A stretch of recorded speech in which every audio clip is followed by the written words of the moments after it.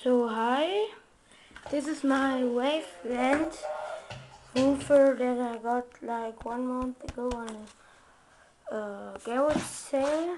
It's in a pretty good condition I think. A bit dusty, but it's not bad.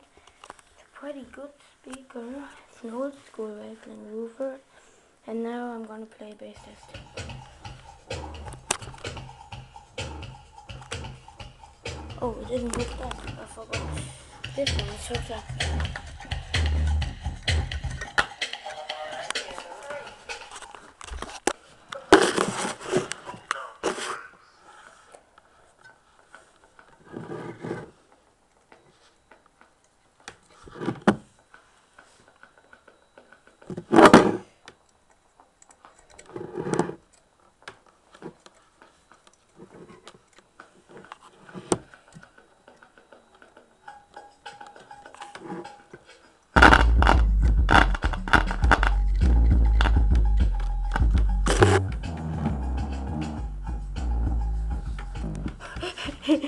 Fuck.